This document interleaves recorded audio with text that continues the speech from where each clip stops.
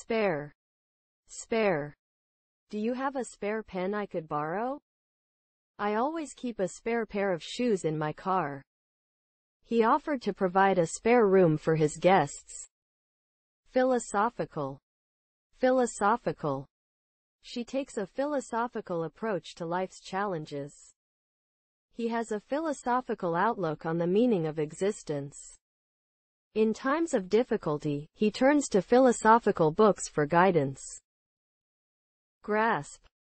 Grasp. He tried to grasp the concept by reading the textbook multiple times. She grasped his hand tightly, not wanting to let go. The teacher used visual aids to help the students grasp the difficult topic. Communal. Communal.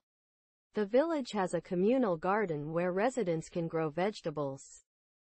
The apartment complex has communal facilities such as a swimming pool and gym. The community center serves as a communal space for various activities. Attentive. Attentive. The teacher was attentive to every student's needs in the classroom. The waiter provided attentive service throughout the meal. He is always attentive to details, which makes him a great detective. Poetic. Poetic. She has a deep appreciation for poetic language and imagery. The sunset painted a poetic scene across the sky. His words were filled with poetic metaphors and beautiful descriptions. Maize. Maize. Maize is commonly known as corn in many English-speaking countries. The farmer grows maize in his field as the main crop. Maize is a staple food in many African countries. Poetry.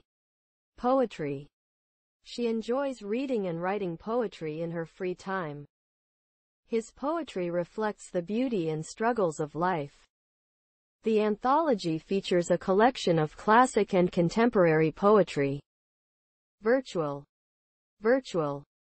Virtual reality allows you to experience a simulated environment. The conference will be held virtually due to the pandemic. She met her virtual friends through an online gaming community. Anticipate. Anticipate. I anticipate a successful outcome for our project. We didn't anticipate the heavy traffic, so we arrived late. She eagerly anticipates her upcoming birthday party. Poetic. Communal. Poetry Maize Virtual Anticipate Philosophical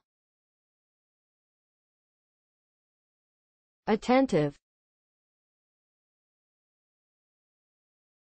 Spare. Grasp.